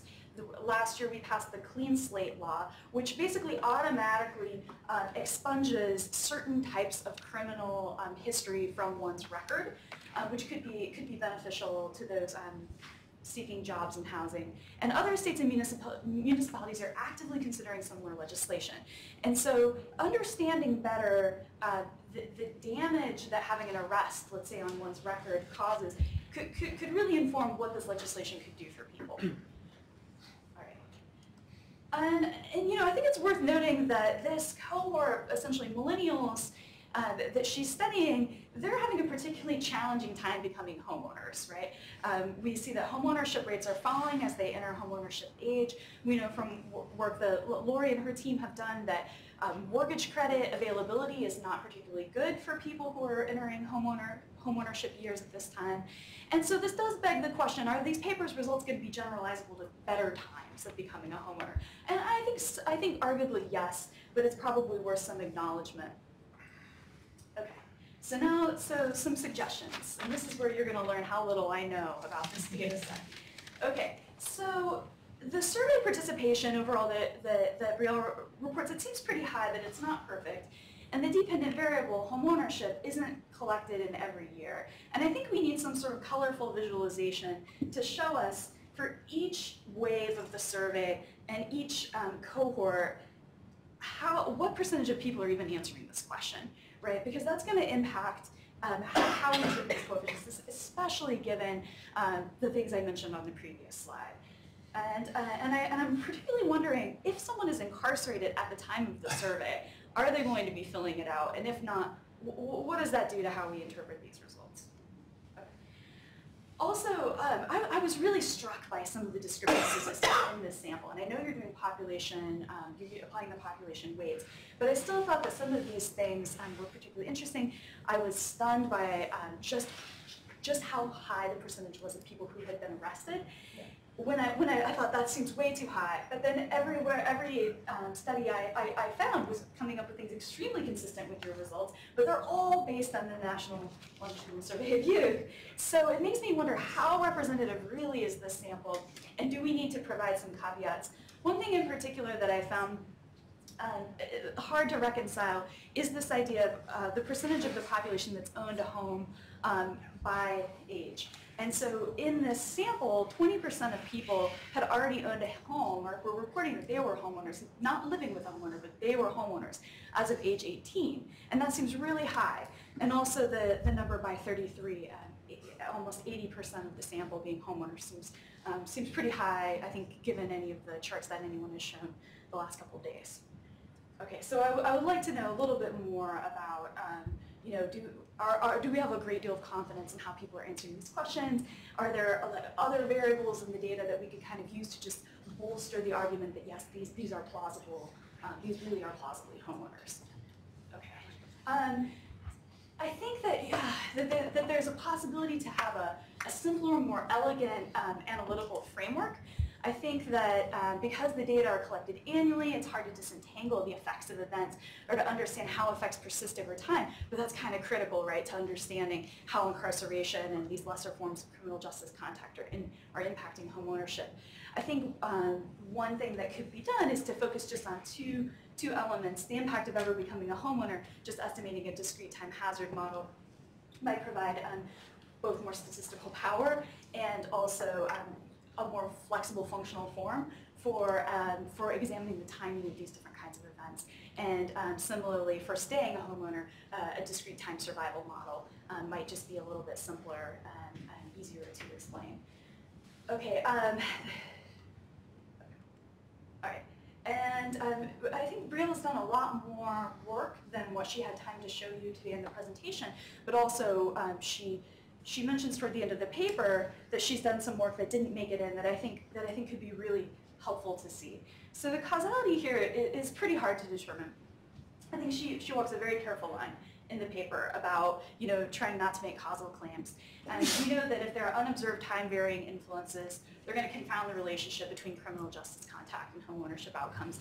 And, and we could even have reverse causality, right? If, if making a home if making someone a homeowner gives them more stability, it may be less likely than that they commit a crime, right, and have these criminal justice um, impacts. So um, kudos to you for being really careful about how you describe it. And, um, but I think that what we can do in the absence of this ability to make clean causal claims is to, to cut the data a little more to help persuade the readers about what's going on in the sample, um, presenting the results of, of white versus minority homeowners, um, maybe talking about um, repeat offenses or the types of crimes involved um, could be really useful and just providing additional color, even though we probably aren't going to be able to say, um, Uh, to make very causal claims here.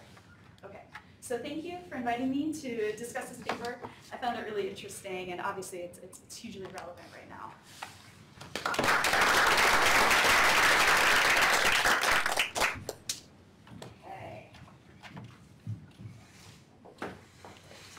Made a promise of an early release. We have a small time window, but I want to see, I'm going to go directly to questions from the audience, and we'll gather a couple of questions and see um, where we are on time. Okay. So,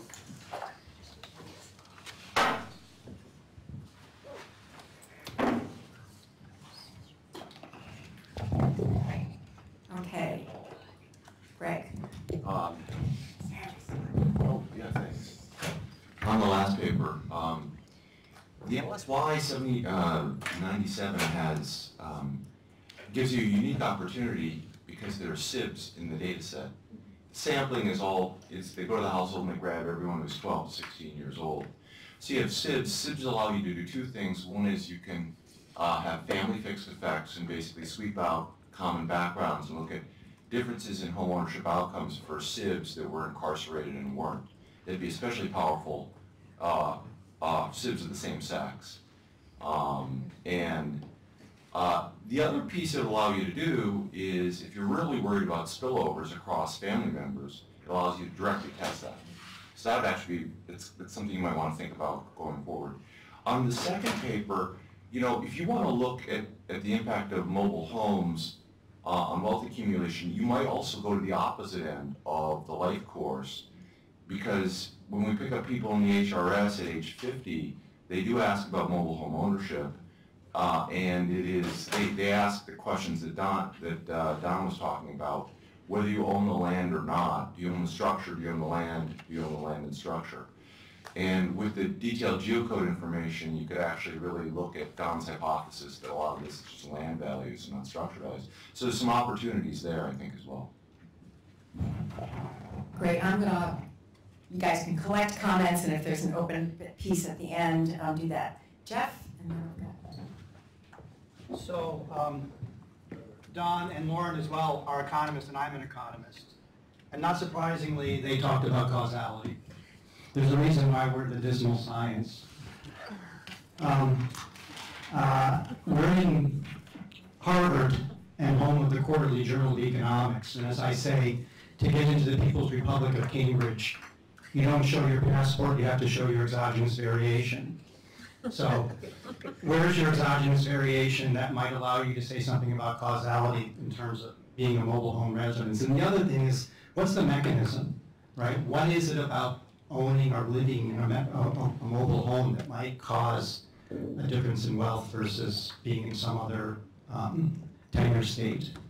Um, One other point, and I found this out when I had my paper on uh, low-income ownership and wealth accumulation, is uh, using percentage of wealth, you can get huge percentage increases when you start from a very low base, right? And I, you know, I found 800% increases in wealth for some low-income owners, but if you start with a thousand bucks, you know, what's 8,000 on top of that? So uh, you might try to do the, the model with levels of wealth as well as logs of wealth to see how that works out.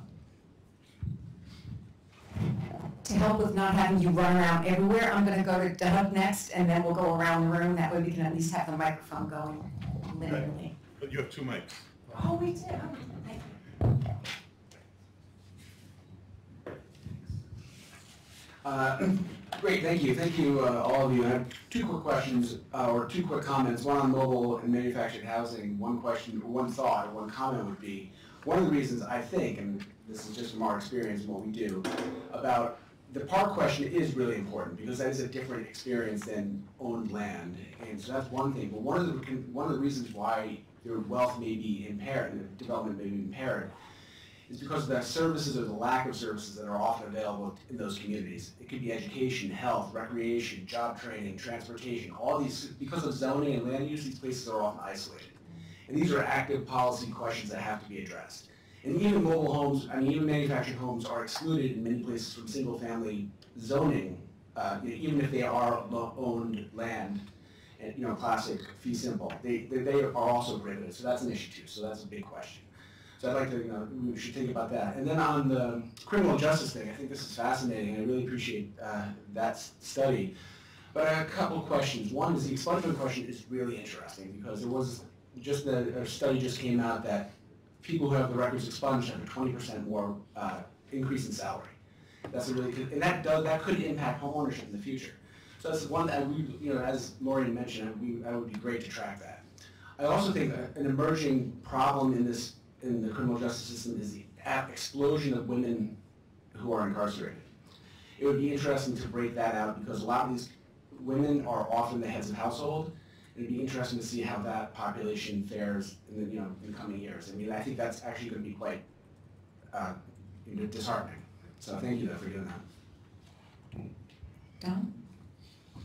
Um, For Brielle, um, is there anything about the search for homeownership or mortgage process where um, arrests or convictions come in as a mechanism for Uh, indicating it would be more difficult to become a homeowner? And the second question is, does the NLSY 97 have some type of a behavioral problems index for young people? And did you control for that? Because one can imagine it's behavioral problems that are related to the homeownership outcome, not, you know, whether you get convicted depends upon whether you get caught and so on. If you want to answer as we had, is if you have anything burning, do you want to respond to? I don't want to. Sure, I will say, oh, I don't think this is working, so I'll just speak. Um, so I have used the, the sibling, uh, fact that they're siblings and LSY for a different paper looking at housing instability. Um, yeah, and it's powerful, and I haven't had a chance to apply it to this paper yet. Um, it do find significant, um, effects, well, sorry, relationships, uh, between, uh, felony conviction without incarceration and, um, housing instability broadly, uh, even within sibling pairs, but I haven't had a chance to look here yet, and, and I absolutely will. Uh, behavioral controls, I have run models using, um, the best behavioral controls that are in there, which unfortunately they stopped collecting at age twenty-four. So I can use, uh, sort of early adulthood, late adolescent behavioral controls, and I, I've run those models too, and I find that it's, um, the results are, uh, comparable to what I presented here, which is just using the best they have, which is just three measures of drug use and gun carrying, basically, that they collected in every year. Um, but, but yeah, I'm thinking about that because that's the sort of biggest, uh, potential confounder really of this population, is just that their behavior is different, so.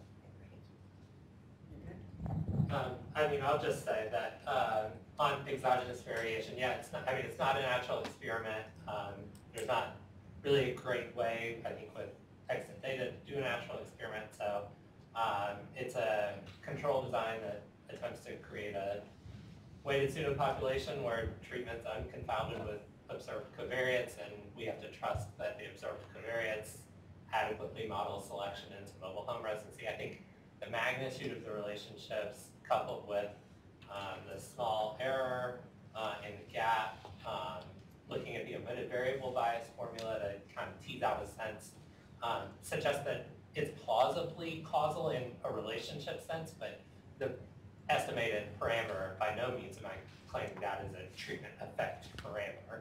Um, I, I think, you know, that's kind of the best we can do right now in terms of the social science of mobile home effects. You, you you would want an instrument of some kind, right? Maybe why it's easier to reside in mobile homes from one state versus another or something like that. ex- it doesn't look like you're exploiting the geographic variation at Yeah, all. that might, And that that might would be. Yeah, Yeah, um, might I right. bet, I mean, wealth and home values are also geographically highly variable, so, I, yeah, What geographic information do you have? Yeah. Because I was thinking of like things like decriminal, decriminalization of marijuana being like something in Philadelphia where we see people are going to be arrested less, right, as a result of that's been the argument. So you have?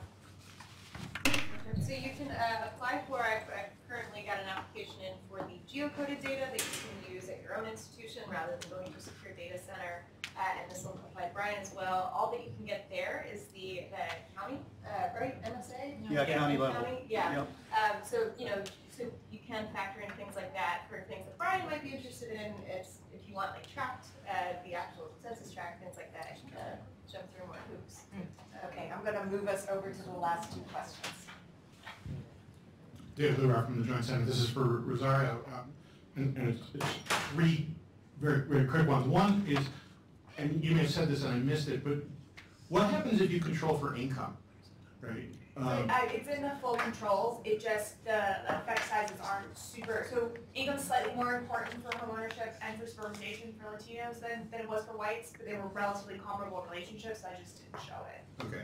Um, And, and then I was just curious what you knew about the kinds of suburbs where you were seeing, you were seeing the growth. And again, it it wasn't clear that you could get into that in the data. And and then the third, which was related to that, is um, I was thinking about Ingrid Gould Ellen's research from, what, 20 years ago on if, if different people define diversity differently. So were you seeing any evidence of certain, certain neighborhoods sort of taking off because uh, white's definition of diversity tended to be much lower in terms of percent than, than others. Right, no, so, oh, sorry, uh, I haven't, that's, uh, that's part of this, the narrowing in a, a better suburbanization question is part of, um, I think my next project, which is actually looking at using tract data, so I won't be able to do the sort of controls on individual households, but saying which type of places result in more of one or the other.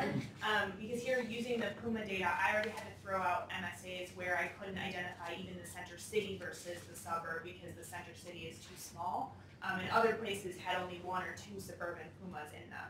So I was really restricted to what I was able to say about the suburbs, but yeah, definitely areas of interest moving forward. Um, I'm gonna take the sponsor's prerogative of asking everybody, uh, something, and maybe making some comments along the way. So for, uh, Rocio, um, do you have any ability to unpack the different, uh, types of Hispanic groups? Um, because I would think, you know, we often hear the Hispanic community is not a monolith by any means, and I wonder if you get some different patterns, if you could. Right, so I think actually I do have the sample size to do it. Um, I've actually made an active choice not to, in part because I've seen research that does disaggregate, but I haven't seen anybody make a compelling argument as to why we expect these differences to remain from country of origin after we control for socioeconomic status, education, all these other things. Um, and so I'm just a little bit hesitant about be, making it potentially a cultural argument. Um, and I just, so I just haven't seen sort of a compelling, like, why do we expect these differences to be there? But you're right that I think there are probably different experiences and that maybe it is worth exploring. Okay, and, and for uh, Brian, um, I'll just say that, you know, Fannie Mae is very interested in the manufactured housing space. And I would direct you to a paper that uh, our regulators put out recently that argues that uh, uh, for uh, uh, manufactured housing on fee simple owned land, the price appreciation rates are essentially indistinguishable from stick-built housing. So that's something you might want to look at. Um, I do agree with Don that I think it's mainly a matter of land ownership, and it's not clear to me that you, I don't even know when you say owning a manufactured house, housing unit, what that means in this context. So uh, I don't know if you want to react to that comment. Sure. So in the NLSY uh, 97, they don't do a great job of disaggregating, um, but basically everyone who owns, owns the home itself, the house. Uh, some of them then also own the land, but it's really tough to You can't tell. get uh, the difference there. Yeah, yeah. Um, okay, um, and then finally, on the criminal justice topic, uh, I noticed the, the, the negative numbers were very small for the category charged. So is the way to think about that, if you're charged but you get off, it has almost no effect, or? Uh, no effect uh, beyond the, to the extent we're comfortable calling it an effect, beyond the effect of arrest. So it seems to be the arrest that's sort of where things are happening and being charged or not on top of being arrested doesn't seem to, um, not much seems to be happening. Thank you.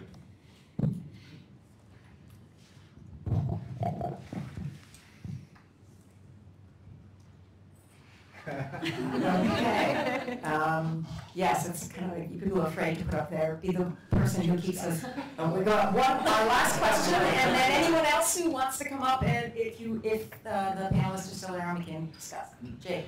Oh yeah, so this is really, uh, I guess in reaction to what Don kind of said about um, possibly there being uh, problems in the mortgage lending process with incarceration. I'm not aware of any, I can't speak for all products, but I'm not aware of anything like that. But what is an issue is uh, when you don't have two years of work history. In a lot of programs, you're not going to be able to count that income uh, towards your uh, underwriting ratio, so now you can't use that income to buy your house.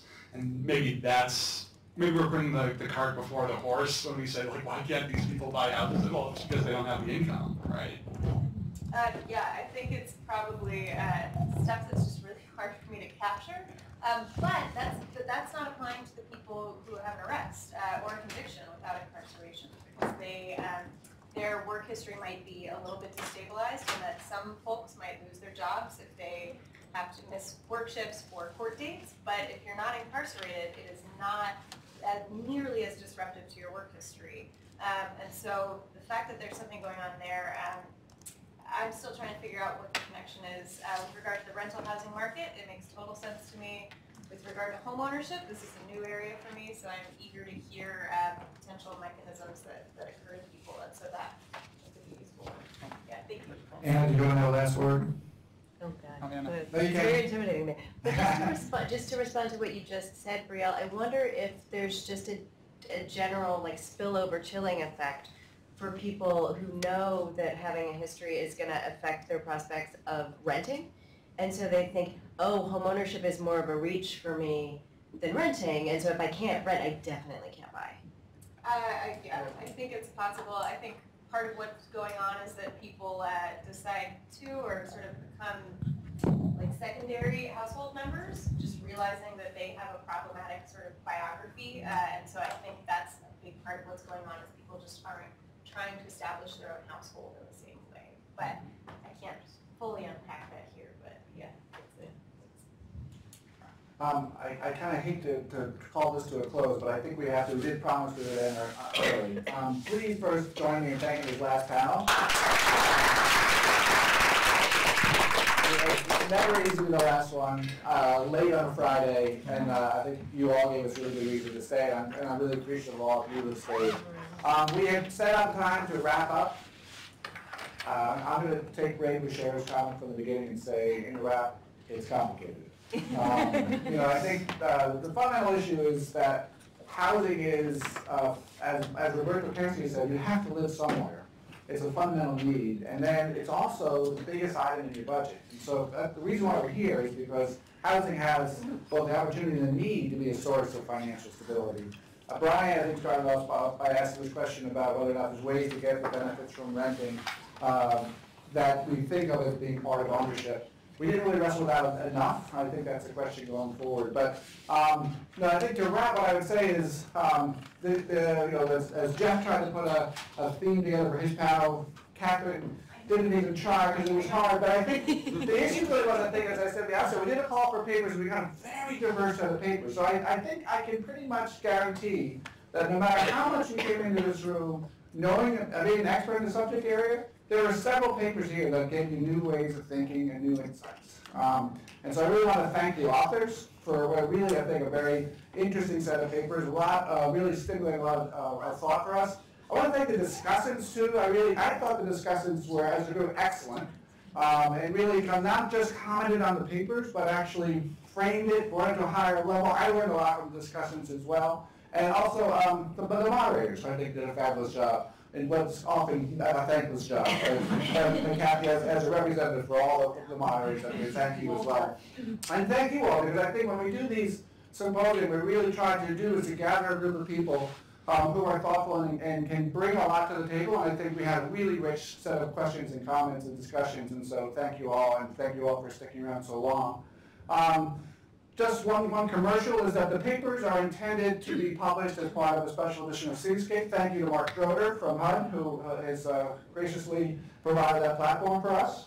So we will be working with Mark over the course of the summer to curate the papers and get them uh, edited for publication. They'll also appear by this fall on the Joint Center's website. So uh, look, look for those to become more publicly available soon.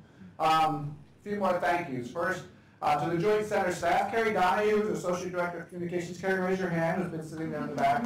Uh, Carrie manages the team of people who, who put on events at the Joint Center. I'm extremely proud to be part of this because I think they do such an incredible job of thinking through all the details and making it look so effortless. James Chaknis, who was outside, has done a lot of the legwork. Angela Flynn, who's helped out uh, a great deal. We also had Alex Sherman, Whitney Edgar, Brittany, who were fabulous timekeepers. Sean, who's been doing the mic running, along with Abby Will. Um, and David Luberoff, who's in the back, as the deputy director. So uh, that's all the Joint Center staff I'm really proud to be part of. Um, and last, and, and not least, I think, I, I don't want to lose sight of the fact that the reason why we are here um, is because of uh, Fannie Mae. And so Jackie, who was instrumental in, in uh, the connection with Kristen. And I actually want to call out both Kristen and Jackie too, I think, for um, the other thing I'd point about, the, not just the topics, but the disciplines that we had represented here today. Um, we had uh, we had certainly had our share of economists and, and More than our sociolo- share, I'm sure. and, and sociologists, but we had demographers, we had anthropologists, we had urban planners, public policy folks, and so I think that the, the nature of this, this topic is complicated, um, but it also requires that kind of multidisciplinary view, and so we got that. I think Jackie and Kristen were really instrumental in pushing us to have not just uh, one one perspective on this issue. So thank you both, and, and Michael, who really uh, helped make this come to fruition. So please join me in thanking Fannie Mae. And, and- John, who led it from, from the Joint Center's point of view, uh, already pointed out. John, did I miss anything? Or Michael? Jackie? All right, so and so that's it. With that, we're concluding. We have a space, so if you want to stick around, talking to the authors, talking to each other. Thank you all. Uh, hope to see you. Nice to meet you.